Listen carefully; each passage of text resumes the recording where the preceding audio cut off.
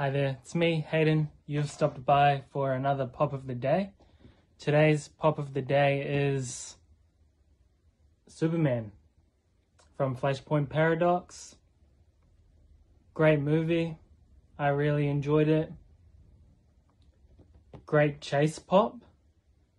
As you can see, the non chase, plain black eyes, kind of lame glow in the dark chase. He's got that laser vision eyes. Really like that. Got the Hot Topic sticker. They're quite sought after in New Zealand. Not that easy to get. And I got this from Armageddon for $70 from Pop Guardian. So yeah, here it is, the pop of the day. Thanks for your time. Bye.